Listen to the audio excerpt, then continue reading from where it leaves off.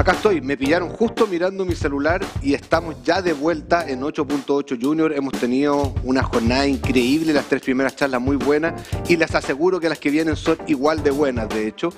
Y ya saben, el colegio con más inscritos se va a llevar, eh, todo el curso se va a llevar poleras de 8.89 regalo de 8.8 y al final de la jornada tendremos un sorteo de la tan anhelada PlayStation 5 eh, al estudiante que se haya inscrito en la plataforma de Passline y que además esté también presente a la hora del sorteo.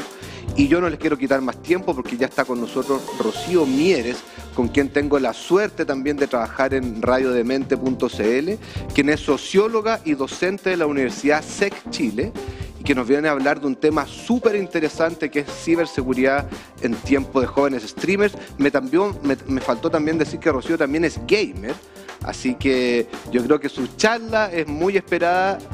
Así que Rocío, te dejo totalmente acá el escenario de 8.8 Junior es totalmente tuyo. Bienvenida y muchas gracias por tu tiempo.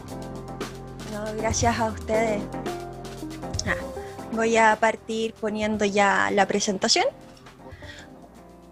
Un poco para los que no sepan, yo soy socióloga, me especializo en temáticas de videojuegos y hoy en día vengo a hablarles sobre una temática que considero es súper importante dado el aumento de lo que es los trabajos y oficios digitales que han tenido un aumento debido a pandemia, que es ciberseguridad en época de jóvenes streamers.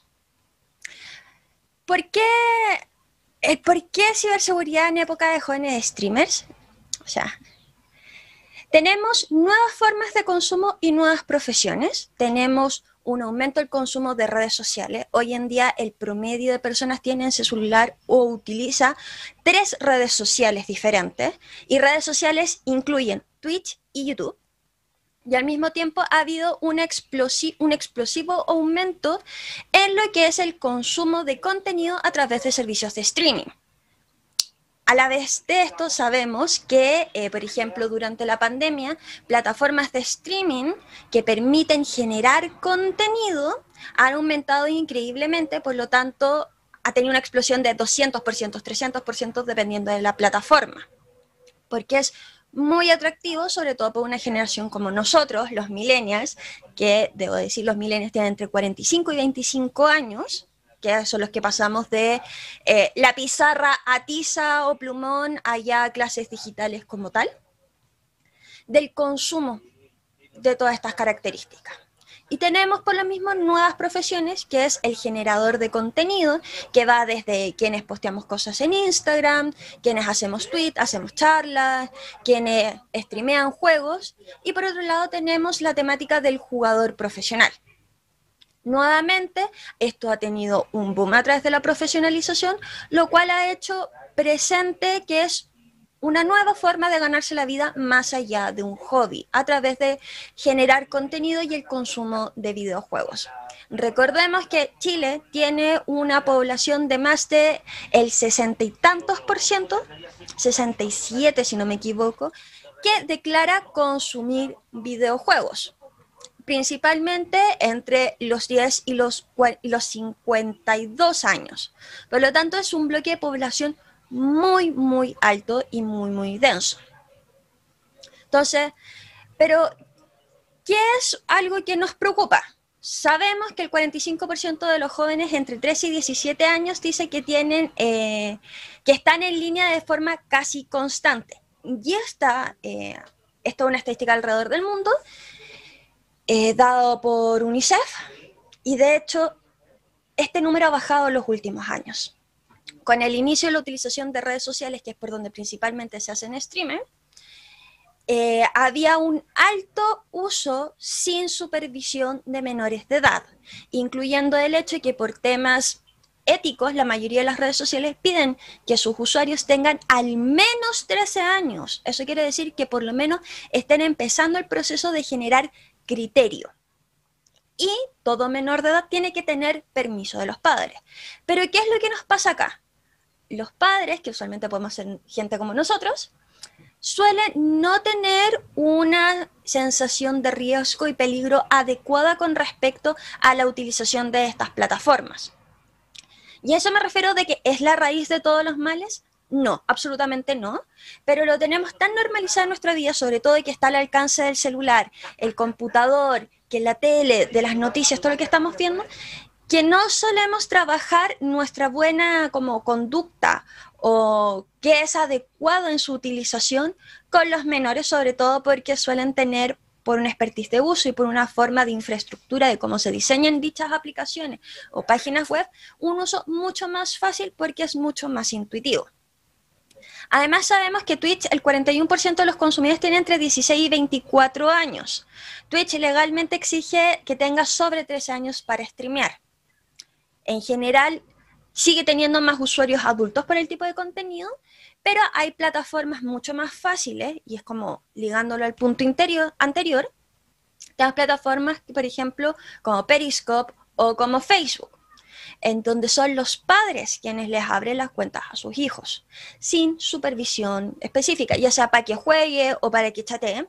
Y son plataformas que son muy fáciles de generar eh, videos o streamers lo cual genera de que si el niño o el adulto, que a uno como adulto le complica, no tiene puesta todas las características de seguridad, por ejemplo, solo mis amigos, solo yo, máximo amigo de mis amigos, está exponiendo una parte de su vida íntima a un espacio público. Y algo que nosotros hemos olvidado es que en Internet es muy difícil olvidar. Por lo mismo hay proyectos de ley de eh, opción del olvido. Según sabemos, también el 34% de quienes están en Internet son streamers sociales o videojuegos. ¿A qué me refiero con esto? Una de las categorías más populares de Twitch es Just Chatting o solo conversando. En, en YouTube, una de las categorías más populares son los videobloggers. Eso quiere decir gente que es como tú y que te está contando algo de su vida. Entonces te enseña recetas, te muestra una ciudad, te cuenta, no sé, que se hizo una operación, qué lápices se compró, etc. Sabemos además que cerca del 80% de los jóvenes entre 12 y 19 años tienen acceso a Internet principalmente a través de dispositivos móviles. La mayor parte del consumo de streaming no se hace desde el computador, se hace desde el celular.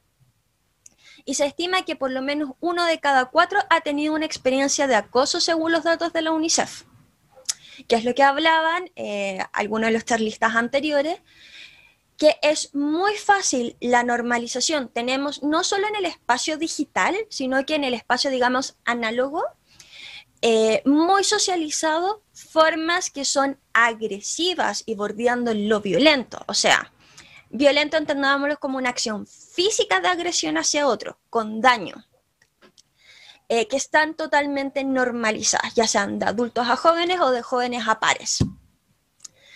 Y esto, sobre todo ciertos grupos que son mucho más vulnerables, esta normalización los deja en un espacio de la jerarquía o de la línea en donde reciben mucho más agresión de lo que podría ser cualquier otra persona. O sea, partamos desde el meme irónico, transformar a, no sé, cosas muy chicas que pueden ser de, hay una foto mala de tu amigo, lo transformaste en un meme y es el chiste interno, pero todos estamos de acuerdo en esto, a qué pasa con los clips o qué pasa cuando tú ya estás exponiendo tu intimidad a extraños. Según Save the Children, el año 2019, el 51.12% de los niños fue expuesto a material violento o sexual. 39.63% fue acosado una vez y el 27.43% dos o más veces. Y este acoso se puede dar desde pares conocidos o no conocidos a través de redes sociales de diferente tipo. Nuevamente puede haber, por ejemplo, Twitch. Por ejemplo, la utilización o social media motivators, o sea, ¿qué es lo que hace que los jóvenes estén en Internet y que consuman el tipo de producción que consumen? Que cuando tienen entre 16 y 18 años, en general lo que se consume es para contener eh, entretenimiento, llenar el tiempo libre y estar, eh, podemos decir, al día con las noticias, memes o generar una red de contactos. Que tiene, cuando son adultos se va cambiando un poquito más el orden, pero no es muy diferente. Y también sabemos, por ejemplo, que los chicos entre 16 y 18 años eh, el 49% se conectan a YouTube, a Instagram, a Facebook y a WhatsApp más de una vez para compartir contenido. Ya sabiendo esto, tenemos que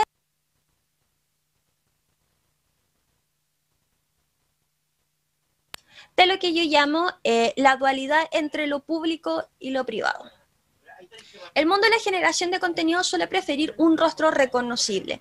Básicamente quien genera contenido está bajo la premisa de que podría ser tu próximo mejor amigo que es un poco más cool que tú, alguien con cual tú puedas sentir un cierto nivel de empatía. Es lo ideal. También tenemos lo que se puede llamar consumo irónico, que vamos a hablar posteriormente de esto. Dicha empatía muchas veces se logra mostrando parte de la vida cotidiana y la vida de cada uno. Una persona que es como tú puedes reconocer sus problemas, su felicidad, podría ser tú. Esto puede eh, tener un problema de contradicción con el derecho a la vida privada. Porque todos tenemos derecho a tener nuestra intimidad y que no sea invadida, pero ¿qué pasa cuando somos nosotros quienes decidimos exponerla por no tener conciencia de lo mismo? Que si ya es un tema complejo y súper delicado con uno que es adulto, con los chicos que están generando recién el criterio es mucho más complejo. Sobre todo, yo trabajo mucho con videojuegos y muchas de las personas que tienen un consumo alto o incluso riesgoso de consumo de videojuegos o de material relacionado con consumo de videojuegos, tiene que ver porque es una forma de salir de un espacio que usualmente es violento o agresivo con la persona. Y en Internet le permite encontrar más gente como uno. Pero el problema de esto es que es como lanzar una moneda. ¿Qué significa gente como uno en Internet? Porque el principio de anonimato efectivamente permite a mucha gente ser lo que realmente es o decir cosas que realmente piensa y dado la construcción del mismo es muy complejo saber cuánto hay comentarios que son irónicos con respecto a ciertas temáticas. Eso significa que personas buscando grupos o redes de apoyo es mucho más fácil que caigan de repente en las redes de personas que se dedican a depredar personas vulnerables. Entonces, ¿hasta dónde mostramos? Porque también hay un corte profundo y complejo con respecto a lo que es la realidad. Y acá me voy a tener un poco poniendo mi sombrero de socióloga y profundizando en esto. Nosotros solemos pensar que la realidad es como el espacio analógico, lo que puedo tocar, con quien puedo hablar, eh, en directo. Es como es salir de tu casa, hablar con la gente que está ahí. Eso es la realidad, eso es lo que tiene repercusiones. Pero la realidad virtual, no como el espacio tecnológico, sino que todo lo que sucede que nosotros subimos a Internet, esta sensación de compañía que recibimos y damos de consumir producción eh, a través de streamers, que yo hablo con el chat, puedo ver la pieza, el espacio, me cuenta cosas, juega los mismos juegos que yo, también tiene un impacto, también es real, tiene influencia en la vida, en la psiquis y en el espacio socioemocional de la persona. Muchas veces hablamos de estas características con respecto a influenciadores, que lo que hacen es que te venden productos, te venden estilos de vida. Pero no obstante, cuando se genera una comunidad, las comunidades es porque tú sientes que tienes algo en común con esa persona y estás exponiendo. Muchas veces, y es lo que sucede, eh, al ser una de las nuevas profesiones del futuro, muchos de los adultos de forma ingenua dejamos un poco desatendido a los jóvenes con respecto, ya, quiere ser streamer, quiere ser youtuber, que lo haga. Y a mí me ha pasado, y grito en el cielo, y eso que, por favor, no soy mojigata con el tema, yo me dedico a hacer charlas sobre utilización de videojuegos y estas plataformas de una buena forma, y utilización para educación. Veo niños de 5 o 6 años haciendo streamings a las 12 de la noche un día de semana. Ese niño debería estar durmiendo. Ahí hay una preocupación de un adulto responsable y cuidador que debería estar atrás, explicando temáticas de criterio, de seguridad y cuidando la infancia. Si es un adolescente, es un poco más relajado, se supone que hay ciertas características de cuidado que hemos visto y que hablaremos más adelante, pero requiere una involucración es una persona que ya está empezando a tener un criterio mucho más formado. Pero también es, es, necesario apoyar y fortalecer todo lo que está pasando en lo que podemos decir en la realidad virtual. Hay mucha gente que ha perdido becas educativas, que ha sido echado de sus hogares, que ha perdido trabajo o incluso que ha ganado trabajo y oportunidades de los mismos. Entonces, bajo esta, digamos, burbuja tecnológica en donde ser generador de contenido, ser streamer, es algo deseable porque eres un influencer, porque te dan regalos, porque te ve la gente, te dan feedback. Usualmente el feedback al principio suele ser bastante positivo, pero ¿qué hacemos cuando eh, estamos exponiendo mucho nuestra vida privada para generar esta empatía con la gente que nos está visualizando? Cuando le contamos al streamer sobre nuestra vida privada, eh, en un acto de vulnerabilidad, nos estamos exponiendo a un grooming, nos estamos exponiendo a conductas que son de, finalmente, de depredación de gente vulnerable. Y todo esto tiene un efecto. Y el efecto no es solo lo que hemos visto de depresión o angustia, sino que también ostracismo social. Entonces, porque hay gente que le va a gustar, gente que no le va a gustar etc. Entonces, relaciones parasociales. No sé si alguno de ustedes alguna vez había escuchado este término, pero es algo que se da mucho cuando eres un generador de contenido o cuando eres un consumidor de contenido. Antes se hablaba mucho de estas relaciones parasociales con las figuras que uno veía en la televisión o en las revistas. Hay un cierto grado de exposición de su vida privada, si es que no íntima, fuera de su vida profesional, que es altamente expuesta a nosotros y la consumimos. Es un poco lo que diríamos el contrato de cuando empezamos a streamear y contamos cómo te fue la semana, qué hiciste, qué estás comiendo. Hay ciertos niveles de profundidad que nosotros vamos mostrando. Como nosotros nos exponemos, la gente que lo está consumiendo y nos consume con cierta regularidad, nosotros somos parte de su vida. Piénselo quienes siguen youtubers cuando no suben un video, eh, cuando nosotros estamos acostumbrados, no sé, todos los viernes a las 6 de la tarde suben un video y no está el video, sentimos esa sensación como de vacío, no de abandono, a veces incluso de abandono con algunas personas, porque esa persona ya es parte de nuestra cotidianidad. Para nosotros lo conocemos. Eso no quiere decir que el creador de contenido necesariamente reconozca y sepa quién eres tú. Y eso puede ser peligroso eh, en el sentido de nosotros no sabemos quién está consumiendo. Entonces, el contenido muchas veces o lo problemático tiene que ver con un fallo de error humano en la aleatoriedad de quienes podrían consumir este tipo de contenido. Por ejemplo, nos podemos encontrar con personas que son apologistas a problemas de mm, alimenticios, por ejemplo, la comunidad proana, que tiene que ver con la anorexia, que genera contenido y consume contenido. O qué pasa de repente con gente que genera y consume contenido para menores y entre medio está poniendo contenido que es de ideologías radicales y que éticamente no son consideradas como permitibles, como temáticas nazis no tratándola desde un punto de vista de pensamiento crítico, tratemos historiográficamente esto en una discusión, sino que apologías. Y eso significa que hay que tener cuidado y sobre todo con quienes nos relacionamos en redes sociales. La mayoría de las personas logra conocer parejas y amigos con eh, relaciones muy profundas y que les ayudan a la vida a través de Internet, pero eso no es sin un riesgo, de la misma forma en que tú tienes un riesgo, no sé, de una fiesta, ir a una discoteca, ir a un café y conocer a alguien.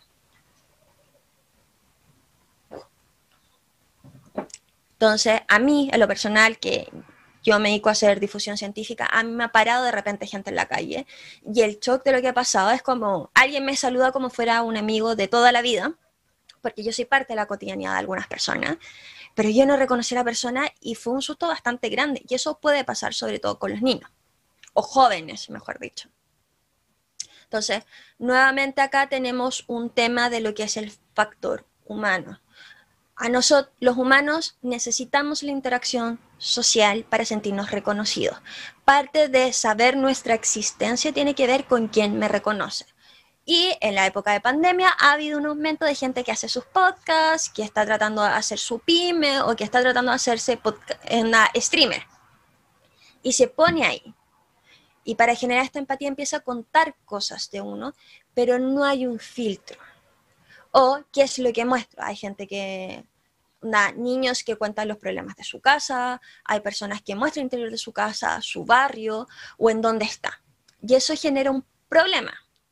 Y el problema es que puede haber alguien con suficiente tiempo o no la mejor condición de salud mental que podría buscarte y aparecer en tu casa y enviarte cosas. Por ejemplo, hay un par de casos que yo he conocido de gente, incluso antes de que empezara este streamer, de que eh, encontraban la casa y les tiraban cosas o regalos por arriba de la reja. Eso es súper invasivo, eso puede ser incluso problemático, porque muchas de estas personas, al sentir lo que les decían, esta interacción humana, parasocial, sienten que dado que ellos están poniendo un esfuerzo en esta relación con alguien que conocen y pueden tener una relación de intimidad emocional, ustedes le deben algo y reaccionar de forma violenta cuando no está ese algo. O simplemente está el troll y la gente que es destructiva por estar destructiva. Entonces, eh, el mayor problema que podemos encontrar en este espacio es cuánta información compleja, delicada, nosotros vamos a compartir. En general lo que se recomienda, y que creo que otros expositores también han dicho, es no fotos con uniformes escolares, no fotos o streamers en lugares demasiado cercanos a su casa, no muestran su dirección, no compartan su número de teléfono, no compartan eh, idealmente nombre completo. Porque si tienen suerte solo va a ser un troll si no pueden encontrar a un acosador. Y el problema de eso es que la el mayor brecha de riesgo es el factor humano. Nosotros que ponemos, no sé, se aseguraron de cerrar la webcam, no se aseguraron de cerrar la webcam, eh, dónde pusieron las claves, eh, tiene su computador, recuerda las claves, su computador tiene POSIT, están mostrando el horario del colegio, ¿qué están mostrando de ustedes? Y es algo que se escapa, es casi como si fuera agua, porque no lo pensamos dos veces, porque estamos aprendiendo a convivir con una tecnología que está avanzando mucho más rápido de lo que nosotros tenemos conciencia de lo que está avanzando. Entonces, volviendo un poco a nivel de streaming y cosas, muchas veces pasa que ni siquiera es el niño el que genera y sube el contenido, sino que son los padres en la chuchería el camino al colegio, dónde están, con quiénes se juntan, el nombre de los amigos. Y después hay cierto nivel de factor humano, y que me ha pasado incluso como docente, que es el cuando tú te sientas a streamear, tú te sientas a producir contenido, tú enciendes la cámara, enciendes el micrófono, showtime. ¿Qué pasa cuando la gente piensa que apagó estos dispositivos pero ha seguido streameando? Y el problema es que se ha producido ahí, sobre todo con gente joven, es la producción no intencional de material sexual o exposición de de vida privada. Alguien se le olvidó cerrar el micrófono o cerrar la webcam y empieza a hacer cosas de su vida cotidiana. Que si tenemos suerte, no sé, me ha pasado un alumno que es como no le gustó una nota y que es como, hoy la profesora mala onda, ble, ble, ble, ble, ble. Eh, eso es una, un aprendizaje doloroso y un poco vergonzoso. Pero ¿qué pasa, por ejemplo, de si hay una pelea en tu casa o si llega tu pareja en caso de que tengas pareja y empiezas a tener intimidad? Esos son contenidos complejos que pueden llevar a demandas y una exposición innecesaria. Nuevamente, con las personas que son menores de edad, eso quiere decir que asumimos que no tiene un criterio formado y que son mucho más vulnerables a influencias de otros, que nuevamente no es culpa de quien es vulnerable, sino que siempre es culpa de quien busca vulnerar o de depredar a estas personas. Son mucho más propensas al grooming, que hemos visto más de alguna vez el espacio de eh, youtubers famosos, streamers famosos que terminan haciendo grooming a chicos que los siguen hasta que se transforman en pareja y horrores de la existencia. El sexting, de exposición de que elegían cosas o el ciberacoso. Entonces, nuevamente a nivel de recomendaciones, y que lamento decir esto, no es un camino que sea más fácil por de ningún tipo, es involucrarse. Eso significa que si usted es el adulto responsable, usted es el hermano mayor, es el tío, padrino, madre, etcétera, es usted quien tiene, o es uno el que tiene, que sentarse con la persona mucho más joven a explicarle, no en un tema de que las penas del infierno, no en un tema de que todo el mundo es malo, eh, sí o sí te van a acosar, sino que hay ciertos riesgos y cómo manejar la sobreexposición que nosotros estamos haciendo de esta forma. En ese sentido, incluye, ojo con decir, por ejemplo, yo me acuerdo la época, tallar en tiempo real en cada momento en donde estás, tallar tu dirección, poner o etiquetar a gente que es de tu familia, poner o etiquetar o no emborronar eh, imágenes públicas que tú estás mostrando de tus hijos, de tus hermanos. Si alguien que no conoces te pide fotos que no consideras apropiado eh, o de carácter sexual, tiene que tener esa persona un adulto de confianza en quien pueda contarle que está sucediendo esto y que sea capaz de reconocer dónde están los botones de bloquear a esta persona para que no siga teniendo acceso. Cómo no enganchar en estas dinámicas. Sobre todo porque cuando tú estás generando contenido, por ejemplo, en vivo, y ya empiezas a tener una audiencia que no son tus tres amigos que siempre te siguen a todas partes, que no son personas que tú conozcas, no son el amigo de un amigo, y empiezan a darte feedback súper positivo. En algunos casos empiezas a poder monetizar tu contenido. Es muy fácil sentir que tienes una obligación con un montón de personas que tú realmente no conoces y que no tienes una obligación real con ellos. O sea, si quieres hacerte un profesional con respecto a generar contenido, o sea, ser un streamer, tu obligación para con el público es generar el contenido e ir subiéndolo y no subir contenido riesgoso. Tú no estás obligado a ser amigo de estas personas. Y muchas veces este choque de realidad es altamente complejo porque se siente como una traición. Ustedes no son responsables de ese sentimiento. Hay que tenerlo súper, súper en claro. Después, enseñar criterios. ¿Cuáles son conductas que pueden ser problemáticas y no problemáticas? Y en esto me refiero, cuidado con subir fotos, y lo lamento porque esto no debería ser así. La ropa con que uno sube, en los lugares, nuevamente a quien tallea, en donde lo hace, al mismo tiempo horarios de consumo muchos de los problemas que se genera con jóvenes streamers, sobre todo cuando empiezan a monetizarlo, es que, por ejemplo, una sesión de Twitch para que pueda ser realmente monetizable o empieces a tener cierto arrastre, tiene que durar entre 3 y 4 horas y los mejores horarios empiezan cerca de las 8 de la noche. Un niño que no sea adolescente no debería estar despierto a la hora ni estar expuesto a esa cantidad de tiempo pantalla. Estamos hablando de que en general el tiempo de pantalla recomendado, por ejemplo, para niños hasta 6 años es máximo una hora de pantalla.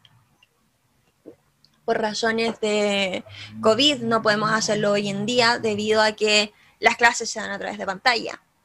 Pero ¿qué pasa con el celular? ¿Qué pasa con el televisor? ¿Qué pasa con el computador? Después de ser adolescente hay todo un tema que tiene que ver aún con la plasticidad del cerebro, con respecto a ciertos temas de regulación hormonal, de calidad de sueño, problemas alimenticios, autoimagen, eh, interacción social e incluso todo lo que tiene que ver eh, de consumos varios. Entonces significa que tiene que haber un adulto ahí involucrándose. Y no me refiero desde la perspectiva que solemos confundir que es ser padre helicóptero, esto no es estar acosando a tu hijo y dime qué es lo que estás haciendo. Todos fuimos adolescentes y los, y los que sean adolescentes que están viendo, sabemos que ese tipo de reacción lo que genera es que no importa lo que yo esté haciendo, es como me estoy sonando los mocos, pero genera una reacción adversa de tratar de no sentirme eh, investigado o vulnerado en ese sentido, por lo tanto es mucho más fácil que yo empiece a tener, a ocultar conductas. Mientras que si yo tengo una relación en la cual tengo una relación sana eh, y relacionarme correctamente con un adulto responsable, que muchas veces ni siquiera tiene que ser el padre, de repente puede ser un tío, un hermano mayor con que yo siento confianza de que no me va a juzgar y que me puede explicar y ayudar con ciertas situaciones, es mucho más probable que ese adolescente o ese niño pueda llevar un mejor control y esté mucho más protegido de ciertas conductas de riesgo. Nuevamente, eh, no revelar información íntima, lo cual es complejo porque sobre todo en una etapa de isolación tan alta que estamos teniendo como la pandemia, actualmente los índices más altos de depresión y de angustia, sobre todo en jóvenes. El nivel de suicidio es importante. Hay muchas personas que están buscando el sentirse parte de algo. Este algo antes era, no sé, la familia tradicional, la iglesia, partidos políticos, pero hoy en día son espacios que no resuelven necesariamente esto. Lo que significa posteriormente que es, es uno de los espacios más fáciles y accesibles. Y eso nuevamente nos puede exponer a cosas muy buenas o cosas muy malas. Y lo último que voy a ir ya como cerrando al respecto es eh, la diferenciación que hay que tener y concientización de lo que es un generador de contenido, de lo que es un jugador profesional, que muchas veces ha pasado que adultos llegan con respecto a esto. Y es que eh, un jugador profesional que si bien genera contenido o va a streamear o tiene un consumo alto de tecnología digital, es una persona que va a estar entrenando de la misma forma en que lo haría, por ejemplo, un jugador tradicional, mientras que un creador de contenido está generando contenido y no es lo mismo. Muchas veces lo confundimos en estas como búsquedas de carreras profesionales, nuevas, digitales, super cool, que estamos hablando y que mueven un montón de dinero y que las marcas, que las luces, no es lo mismo no es lo mismo. Y en este espacio, algo que es muy preocupante y delicado, nuevamente, tiene que ver con un grupo vulnerable que son las chicas. Yo no digo que los niños o los chicos no lo tengan, pero se da mucho que la capitalización erótica de cuerpos de mujeres, eso quiere decir, en la misma lógica de las peleas, por ejemplo, de es que las mujeres entran gratis a la discoteca, son cuerpos que se consumen y se consumen de una forma de contenido no necesariamente adecuadas para chicas que sean menores, lo cual hace que inadvertidamente puedan estar generando material pornográfico infantil y que éste se esté consumiendo. No es raro ver, por ejemplo, en redes sociales, porque cuando se streamea se hace un combo de tres plataformas de redes sociales en forma de tener un nivel de, de impacto, que es, se genera una cuenta o en Twitter o en Instagram, en donde se vayan subiendo videos, imágenes, mi vida cotidiana, tomando café, que la playa, etc. Esa comunidad se lleva para el consumo en stream y luego se hace una comunidad por Discord. El problema es que en este funnel pueden suceder muchas cosas mal. Los contenidos que suelen subir mucho más alto terminan siendo el contenido de carácter irónico, eh, en donde una persona se consume por el cringe que está dando o por el morbo que está dando y hasta dónde se lo puede llevar con respecto a. Entonces tenemos gente teniendo crisis de ansiedad, meltdowns, eh, a paciencia de todo el mundo y esto se alimenta constantemente. Es como, y voy a dar más feeds por esto, y voy a hablar, y lo voy a viralizar y generar contenido en relación al sufrimiento de una persona o la vulnerabilización de una persona. Y cualquier persona que quiera hacer streamer no está lejos de eso. Sobre todo con una reacción que es ese tipo de contenido es altamente viralizable, por lo tanto hay una sensación de fama cuando es realmente infamia, no es la fama que tú quieres eh, tener, pero queda en una espiral constante ahí de autofragelación en la exposición. Hay un serio desgaste de salud mental expuesto ahí, eh, a lo cual no queremos exponer a gente joven y sobre todo niños del contenido. Yo como adulto, eh, porque pueden llegar ofrecimientos de todo tipo, sí, este meltdown, y después qué es lo que sucede cuando no queda nada, porque es un poco más efímero. Posteriormente está la creación eh, en jóvenes streamers, cuando empiezan a tener, lograr monetizar, qué pasa con las donaciones que hay ahí. Cuando gente empieza a poner lo que se dice un cebo, te doy 10.000 bits si levantas la pierna. Que es como, no te voy a pedir hacer material pornográfico, pero te estoy pidiendo material erótico sin que te estés dando cuenta. ¿Qué pasa con esas personas? Sobre todo un estado de vulnerabilidad que es, no sé, quiero, puede ser, necesito pagar cuenta o quiero el siguiente Gundam. ¿Qué pasa con ese tipo de contenido? ¿Qué pasa con ese tipo de interacciones? ¿Lo hago o no lo hago? ¿Qué pasa con la gente que lo está haciendo? Cuando son adultos o mayores de edad, estamos en otras discusiones porque se supone que hay un criterio formado, pero ¿qué pasa cuando estamos hablando con adolescentes al respecto? Y posteriormente está cuando pasamos a los grupos de Discord, en donde también uno puede streamear, pero también es mucho más propenso al traspaso de información, a exponerse uno mismo o encontrarse con moderadores que puedan ser complejos, peligrosos o arriesgados, que pueden estar en un modo de grooming con respecto a jóvenes espectadores o viendo si es que hay alguien vulnerable. Después está todo el tema de ciberseguridad que nos podemos encontrar con temas misógenos, nos podemos encontrar con temas clasistas, violentos, etc. Y hay cosas que son, ya, yo me acuerdo en mi época adolescente, cuando máximo uno tenía Messenger, y que el mayor problema era el aburrimiento de que empezaba a agregar correos electrónicos a la de repente te encontrabas con personas y te aceptaban eso, que era un tiro al aire lo que uno se podía encontrar, pero no había una sensación de riesgo real porque esto es virtual. Ser virtual tiene ciertas características, pero no lo hace irreal. Después teníamos el tema de, ay, me hackearon. Y el hackeo había sido algo tan fácil como ponías el correo electrónico de la persona que olvidó su contraseña y su pregunta de, ¿cómo se dice? Para recuperar esta información era cuál es el nombre de mi mascota y la persona le había hecho un fotolog a la mascota subiendo todo el tipo de información.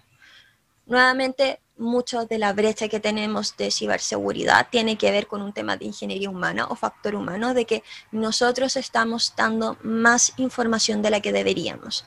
Y también al normalizar estar a cada rato consumiendo 24/7 desde un computador, desde un celular, nos expone a conductas de más riesgo por no entender el tipo de riesgo que estamos corriendo o hasta dónde lo estamos corriendo. Que uno podrá decir, ya ocultas toda la información sobre mí, pero ¿qué pasa cuando tú ya empiezas a tener un cierto nivel de reconocimiento, estás generando contenido, la gente te empieza a seguir y te, para, te puede parar un desconocido en la calle que uno no sabe si es como de verdad le gustó mi contenido o te va a meter una camioneta? empiezan a llegar amenazas de repente, truleo, o tú ya estás exponiendo a gente alrededor tuyo. Por lo tanto, las recomendaciones básicas es como si quieres ser un streamer, ten un fondo lo más neutro posible que diga lo menos sobre tu localización. Cuidado la, exactitud con la cual talleas geoposicionamiento. Si tú dices, no sé, una comuna random o región metropolitana, no va a haber tanto problema cuando tú dices calle tanto con tanto. Eh, si vas a ir a eventos y va a decir que vayas a eventos, no digas horarios exactos de los que vas a ir a no ser que, no sé, te estén invitando como influencer, eso ya es trabajo, es otra cosa. Eh, y cuidado con lo que uno va diciendo porque no se da cuenta, uno genera estas relaciones parasociales con estas personas que generan una empatía, que genera un espacio, que uno lo siente cercano y en eso uno terminando más información de lo que uno debería dar de una forma compleja y peligrosa. Y nuevamente, si usted es un adulto que está en conocimiento de algún niño, explicarle, hablar sobre estos riesgos. Eh, no te preocupes si alguien te pide algo indebido que tú no quieres hacer, está bien bloquear y borrar y denunciar. y no es culpa de la persona que está siendo violentada en ese sentido. ¿Qué más les puedo decir?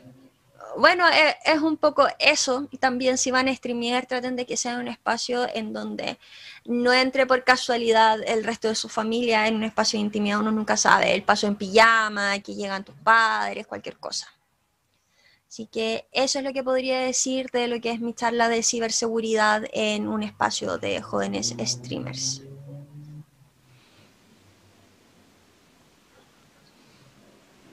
Rocío, Rocío, Rocío, quedé impresionado. Eh, muchos más vectores de lo que uno esperaría encontrar. ¿Cómo estás? Un placer saludarte.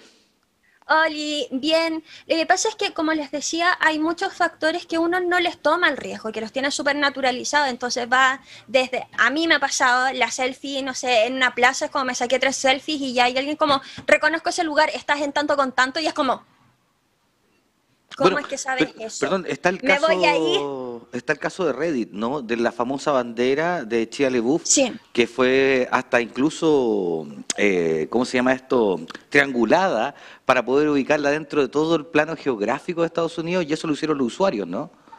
Exacto. Uno nunca sabe, de repente puede ser gente que esté simplemente aburrida y que uno es como, oh santo.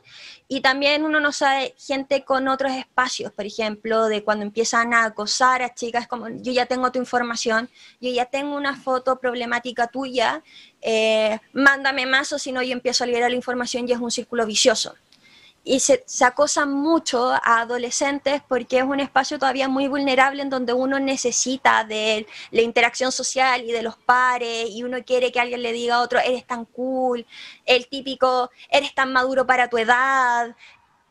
Son esas ciertas cosas que se dan que si bien tienen que ver con lo ciber, con lo digital, el factor humano sigue siendo la parte como más compleja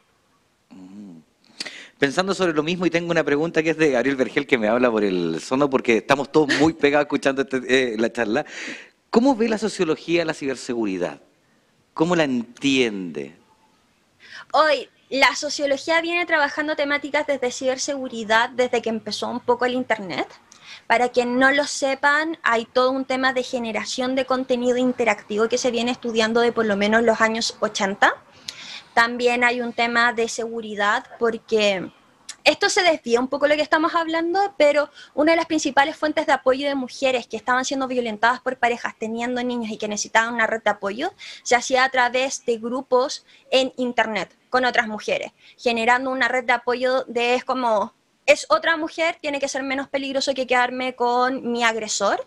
Y se generan estas redes que es como, y yo te cuido al niño, y acá tienes pañales y comida, entonces se va hablando de eso y sobre todo cuando estamos hablando de que Internet y la ciberseguridad parte como un tema militar y de ciencia, ahí uno puede hablar mucho porque a Chile Internet y los computadores no se masifican hasta el año 90.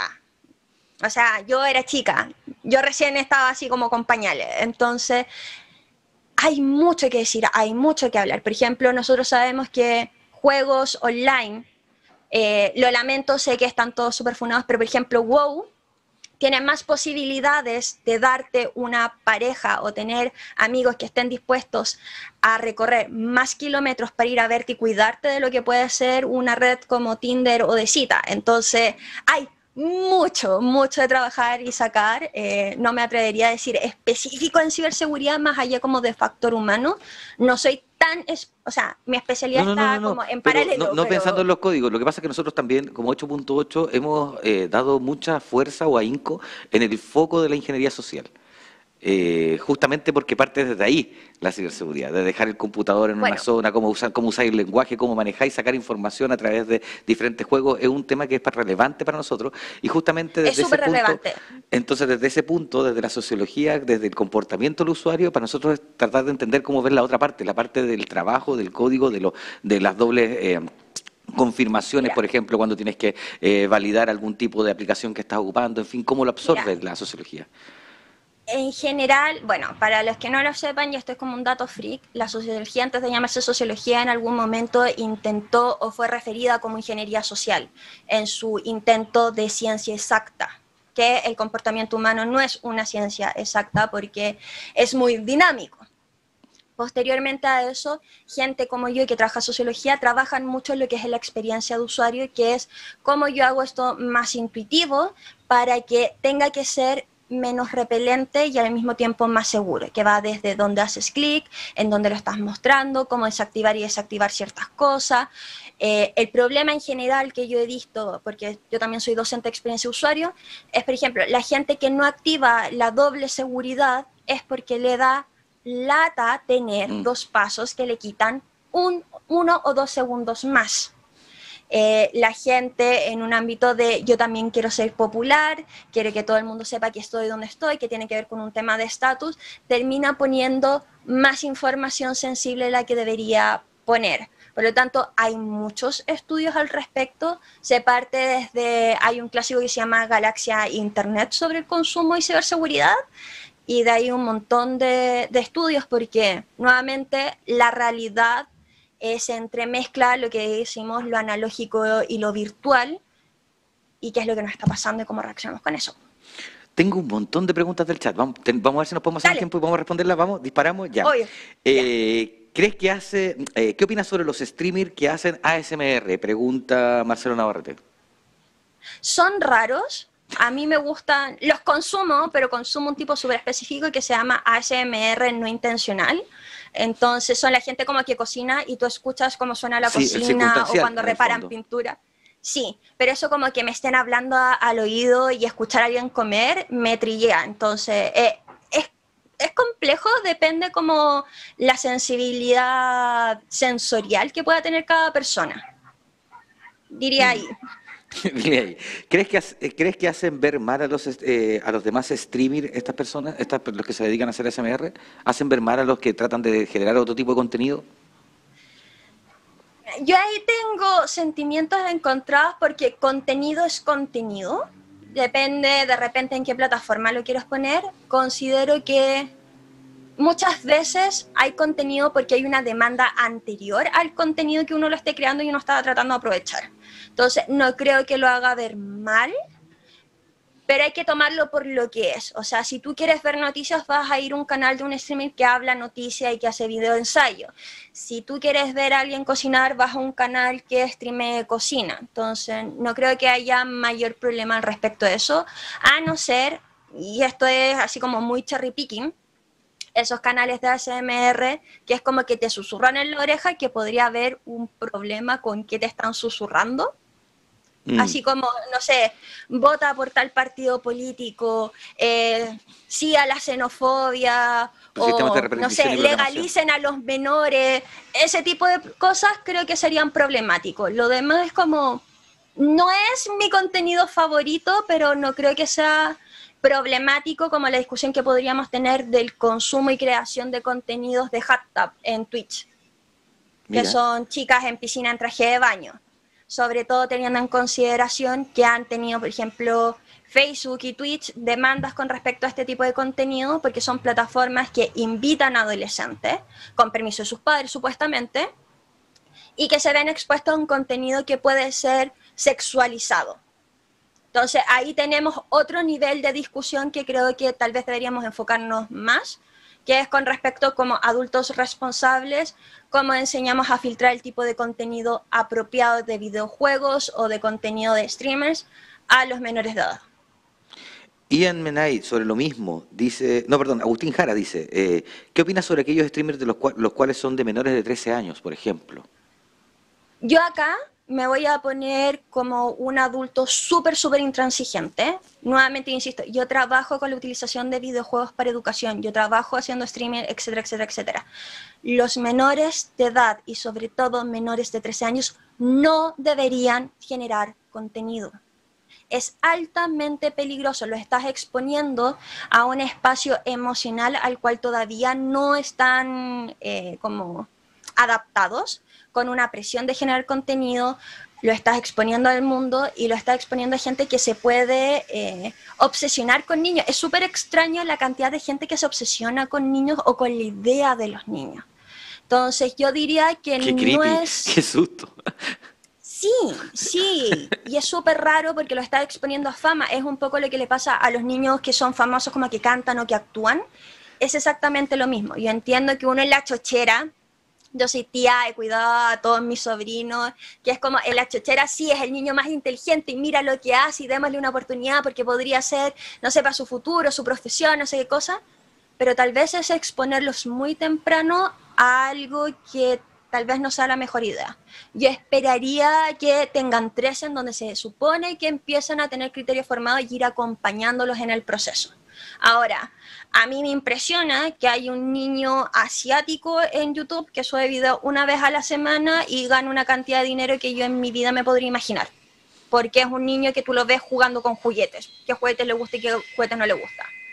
Que es como a través de experiencia usuario de marketing, es maravilloso si es que tú te dedicas a hacer juguetes pero fuera de eso, el ponerlo público, yo creo que es un espacio muy riesgoso para los niños. Yo creo que es medio antiético, debo decir. ¿eh? Hay un tema de explotación, porque no sé si tiene percepción de lo que está haciendo el niño. Pero No, y aparte es como esa plata se va a ir directamente realmente al niño. Ya mm. hemos visto lo que ha pasado con los niños de estrella. Sí. Y Minay, ¿qué opinas sobre los streamers o influencers que generan odio a través de sus streams? Mira, yo insisto que acá hay un tema de que todavía no tenemos claro o no nos hemos concientizado de que que sea virtual no significa que sea irreal. Y lo voy a repetir así como hasta que me muera. Entonces, mucha gente y es como, ay, pero si le escribo una tontería y qué importa, me pierdo en el volumen, pero hay una persona que está trabajando detrás y que lee eso y genera un impacto. Por lo tanto, yo creo que es de una irresponsabilidad tremenda andar mandando a los fans a que acosen a otro generador de contenido. Lo mejor, y si por ejemplo tú vas, descubres que hay una persona que está generando contenido, que tiene conductas poco éticas, que no te gusta, tú puedes hacer un llamado, por ejemplo, a tengan ojo y no lo consuman, pero no a mandar hate. Eso hay casos de generadores de contenido que se han suicidado por el tema, o fanáticos que no entienden que una cosa, no sé, darle un dislike y otra cosa es ir y conseguirse, no sé, dónde viven, cuál es su root, empezar a llamarlo al celular y acosarlo. Tiene un nombre eso, ¿no? Tiene un nombre específico ese tipo de práctica. No sé si... no, me, acuerdo cómo se llama en este momento. Tiene, un nombre esa práctica particularmente y está empezando a buscarse ser tipificada en algunas partes del mundo, de hecho. Exacto, porque nuevamente la mayoría de los generadores de contenido, por el ritmo que exigen estas plataformas, si es que quieres monetizarlo, más la exposición, suelen tener problemas de salud mental, ansiedad y depresión usualmente. ¿Qué tanto afectan los sesgos de personas en los riesgos actuales de ciberseguridad? Yo, o sea, esto es una respuesta que es totalmente prejuiciada porque yo soy socióloga. Yo creo que el factor humano es el factor más importante del cual uno mete todas las tonterías de pata, desde no entendí, no leí, no caché, podría estar en, en así en letras gruesas, rojo arriba y igual no. Eh, uno sigue sin tapar su cámara digital, se le olvida apagar el micrófono, se le queda la llamada encendida. Es como, sobre todo en un ritmo de vida tan rápido como el actual, es mucho más probable tener errores que sean de carácter humano que errores así porque está mal programado. Pregunta de Benjamín Leán, ¿los streamers están haciendo algo por la ciberseguridad? ¿Alguno tiene presente esto o da algún tipo de consejo de higiene digital durante sus transmisiones? ¿O es algo que particularmente no está en la cabeza actual de los mayores o de los, eh, de, las, de los streamers que tengan mayor capacidad de llegar a mayor audiencia? Mira, yo ahí me voy a declarar un poco incompetente de la cantidad de streamers que yo consumo, no consumo no consumo temáticas así como cómo enseñar a programar o ciberseguridad en específico, lo cual no significa que no existan, significa que yo no los he encontrado aún, seguramente debe haber, pero no suele ser una preocupación constante de quien está generando contenido y que lo haga público.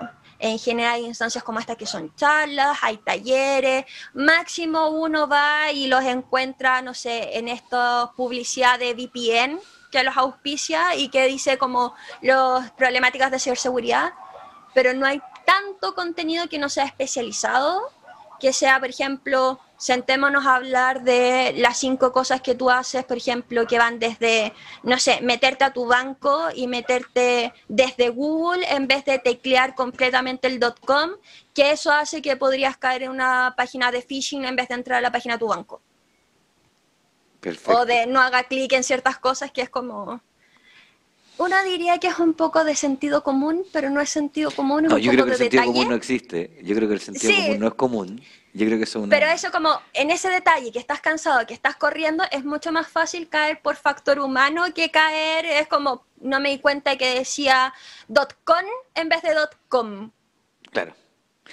Consulta, Tomás Pence, ¿a qué edad recomiendas empezar a streamear? Mi recomendación para empezar a streamear es siendo mayor de edad, porque uno asume que hay un criterio formado con respecto a entender ciertos riesgos y a no dar información más de lo que uno debería. Ahora, eso es un tipo ideal porque no todos los adultos tienen eso y hay gente que lo aprende de forma más temprana. Se es más probable que te ahorres el tema de sin querer que aparezca tu uniforme escolar, que se van de tu colegio. Es como hay un control o una abstracción más probable de qué tanto podrías dar o no información y probablemente sea más difícil caer en categorías de grooming. Difícil, conste, difícil. Sí, no, sí, sí, No sí. te pone a salvo. No, es que es heavy, es que la cantidad de vectores que se abren son es impresionante. Alondra Peñalillo pregunta, ¿qué les recomienda a los padres que les pasan sus celulares a sus niños pequeños?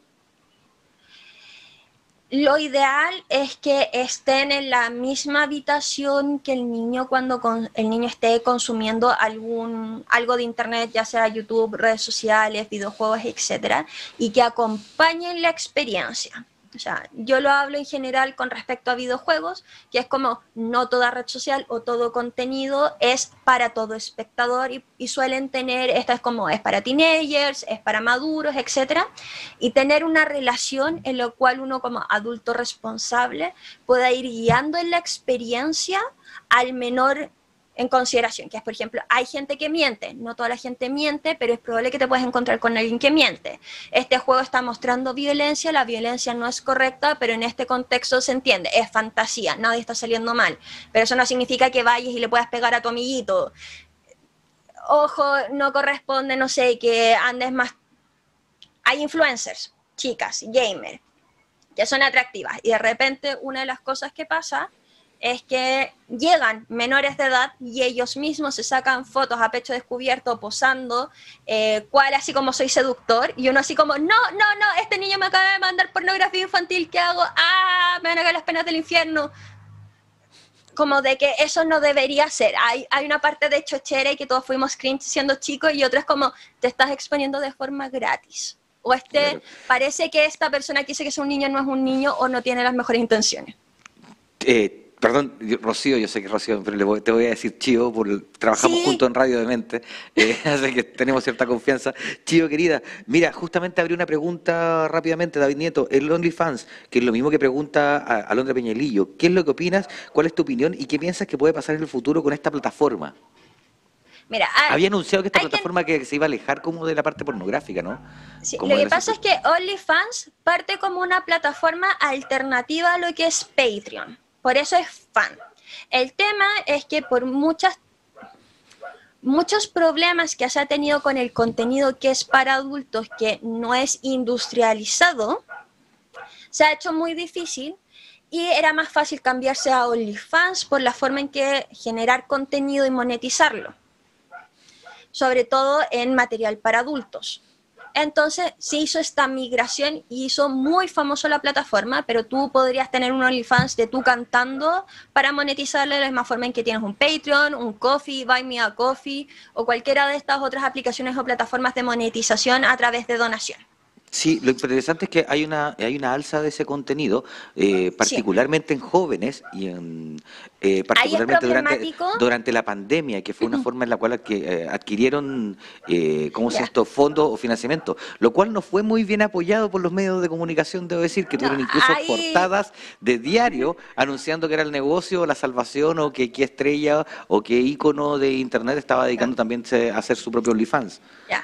Acá yo tengo una dicotomía que es súper compleja. ¿Ya? Porque, por un lado, una mujer adulta o un hombre adulto que quiera monetizar su sexualidad con ciertas características de cuidado siendo mayor de edad, puedo decir que estoy a favor o no lo voy a juzgar. No, no sería mi elección, pero no me voy a poner así como y te vas a ir al infierno. Pero eh, mi formación de socióloga me demuestra que las mujeres y sobre todo ciertos jóvenes son mucho más vulnerables a temáticas de pobreza y vulnerabilidad económica que llevan a otro tipo de vulnerabilidad.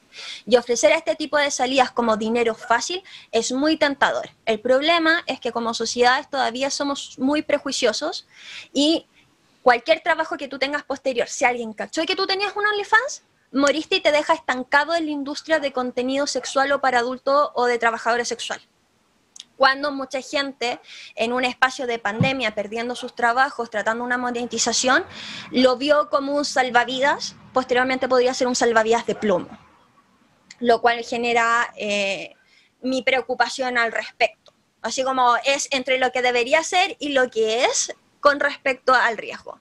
Además que está la em, seguridad del material y el contenido que se sube. Eh, exacto. se filtra, puede pasar a diferentes páginas, se puede ocupar en páginas que no necesariamente sean muy buenas, no, no y no estoy hablando de tu reputación, sino que se pueden ocupar para páginas donde puedan eh, profitar de ese contenido también. Exacto, y acoso o incluso usuarios que pagan por el contenido acosando a quien genera el contenido, que es como, no sé, loco, yo solo vendo fotos en bikini, yo no hago ese tipo de cosas con lo que me estás pidiendo y que insistan y se da acoso. Después de eso, yo creo, y que creo que es lo más problemático, el, que exista TikTok, que exista Twitch, que exista Facebook, que exista Instagram, pon tú la red social que haya, tiene un alto contenido de gente joven, que, que es normal, sobre todo dado que el 87% de los chilenos tiene dos celulares o el acceso a Internet es a través de celulares. Que es, encuentra una chica que sea atractiva y empiezan todo el proceso de esperar a que sea legal entonces hay un, pero si eres bonita, eres atractiva, eh, de repente te podrías pagar la universidad con un OnlyFans o podrías comprarte, es casi como la temática de no querías un sugar daddy. Entonces, incitación, hoy no había pensado en Incitación de chicas que son menores para que el acto cuando exista el contenido ya no sea un tema de grooming porque ya es legal, pero es incitar desde que son menores de edad. Incluso a mí me ha llegado, es como, no querías abrirte un OnlyFans, yo te pagaría hasta 50 dólares y es como, no, gracias.